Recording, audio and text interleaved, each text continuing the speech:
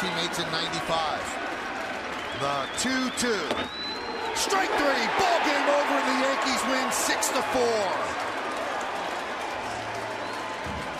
Puig loses the battle with the veteran Rivera, and the Dodgers lose the battle with the Yankees. A big day for Ichiro and a big first game of the day-night doubleheader. Perfect paint fastball away. His patented bread and butter. Perfect location. Puig is looking at the umpire saying, I couldn't hit that anyway. That was a good call. No doubt about it. Mm. The man on the mound is going right to Cooperstown. The man in the box is a rookie phenom, and that's on the corner.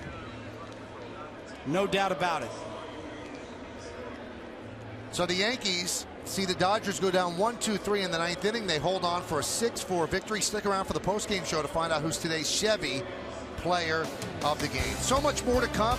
We have an award to give out, and then we'll throw it back to the studio for Bob and, Jack and Meredith.